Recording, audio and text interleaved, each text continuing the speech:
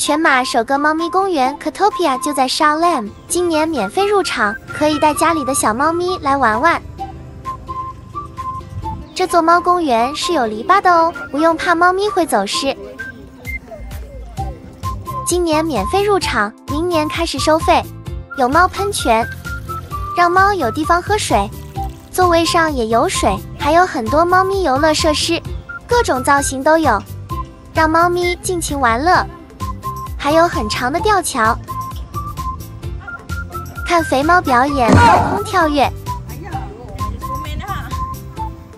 还有猫屋可以休息，可可爱爱小猫咪。